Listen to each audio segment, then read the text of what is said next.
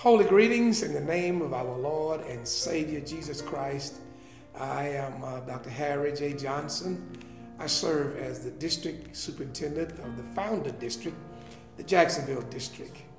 Uh, I am honored uh, for the years past that I have been uh, had a zeal to gather information and photographs, memorabilia of our leaders, and uh, not knowing that it would be a, uh, in the future an opportunity to share that with the family and to all of the new people who've come into this family who know very little about our history.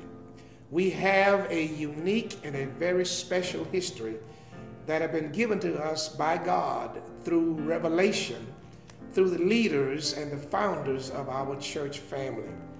And I speak in particular about our leaders, our founder of the Church of God by Faith, in the person of the elder John uh, Bright, the founder, to our first bishop, uh, Bishop Aaron Matthews Sr., to our first national executive secretary, uh, Elder uh, Hubert Stedman, and the first national evangelist, uh, Elder Nathaniel Scipio.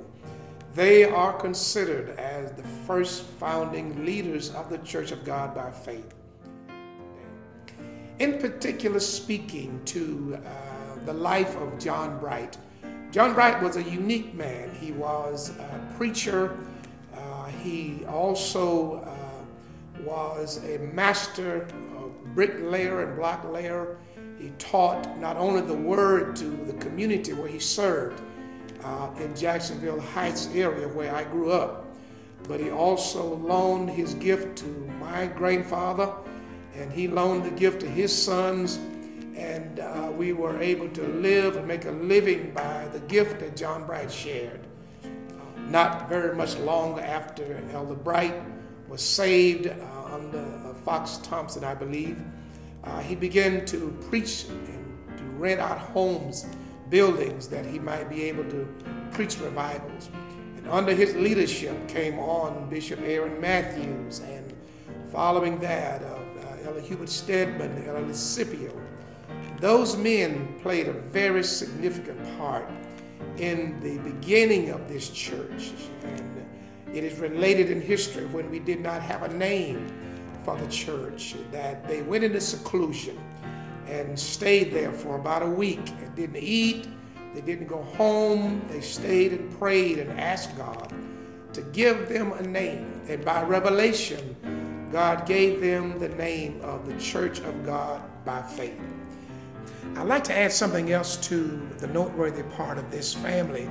They were known for a fellowship. They were not so much caught up with being called a church per se. They loved being together. They, they would, uh, at one time in the history of this church, uh, they had church every night. Uh, they, they, they, they cherished being together. And whatever it took, whatever means was necessary, they would always covet working and working and being together in their efforts. They pooled their money, their finances, their time, their energy, so that they could portray the picture to the members that we God has birthed something very special here. Uh, again, if you ask the question about how did this come to pass, they believed firmly in their spirit, and those that came along after them, that the church of God was or to enter into the body of Christ was truly by faith and nothing else. And so they believed that and preached that for many, many years. El Scipio, uh, in his day and the ministry that he served in, was a very unique person, a great man of vision and a man of discernment uh, for the years that he served. Uh, Elder uh, Hubert Stedman, the first national executive secretary, served as the author of our early literature in this church. The unique thing about Elder Stedman was that he was the youngest of the group, and uh, in the churches, his gift of evangelism and revivals, he preached revivals year round. And he and his wife lived under the tent for many years, uh, was a unique thing about him.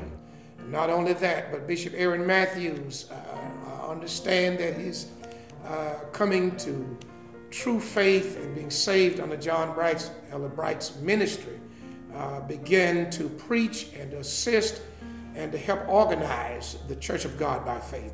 We have something to celebrate 100 years of service, 100 years of men of integrity, and a great foundation. And not only a great foundation, a great heritage, but a great future. And so we say, thank God for the leaders, for the ministry, for the vision, and for the doctrine and the leadership of the Church of God by faith.